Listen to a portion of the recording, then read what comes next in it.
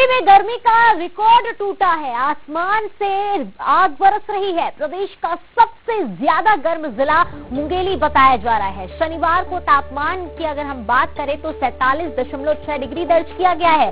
तीन जून को छियालीस दशमलव एक डिग्री उसका तापमान रहा है। दो जून को पैतालीस दशमलव पाँच डिग्री। वहीं लू चलने से लोगों को अब बाहर निकलना मुश्किल हो गया है। पूरे सीज़न में मुंगेली के लोग गर्मी से हलकान रहे हैं।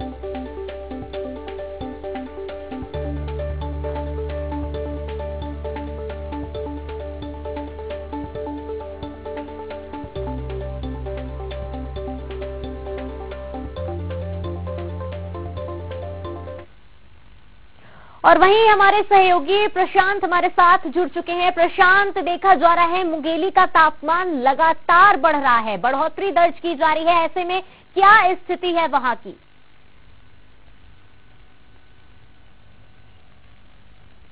जी, मैं बता दूँ कि मुंगेली ज़िले में तापमान लगातार बढ़ते जा रहा है और तापमान प्रदेश के दूसरे जिलों से कहीं अधिक है। मैं बात करूँ पिछले तीन दिनों की तो दो जून को जहाँ तापमान पैंतालीस दशमलव पाँच डिग्री था, वहीं तीन जून को तापमान छियालीस डिग्री छियालीस दशमलव एक डिग्री था, वहीं चार तारीख की बात की जाए तो प्रदेश का सबसे ज़्यादा तापमान रिकॉर्ड किया गया है और तापमान सैतालीस दशमलव छह पर पहुँच गया है, जो कि प्रदेश का सबसे गर्म जिला रहा है मुंगेली। और लगातार लोग यहाँ परेशान हो रहे हैं। शुरू से ही इस सीज़न में मुंगेली ज़िले का तापमान लगातार बढ़ते जा रहा है, जो कि चिंता का विषय है।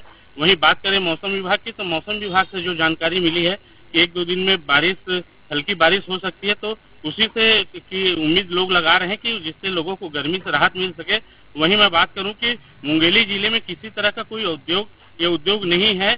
उसके बावजूद भी इस तरह की गर्मी पड़ रही है जबकि बड़ा जो भाग है वो वनांचल का है और वनांचल का बड़ा भाग होने के बावजूद भी इस तरह की गर्मी और प्रदेश के दूसरे जिलों से अधिक गर्मी कहीं ना कहीं चिंता का विषय है और देखना यह होगा कि मौसम से आखिर लोगों को कब राहत मिल रही है क्योंकि लोगों का बाहर निकलना मुश्किल हो गया जिस तरह सूर्य देव आग बरसा रहे हैं, गर्मी का कहर है, लोग परेशान है, जी।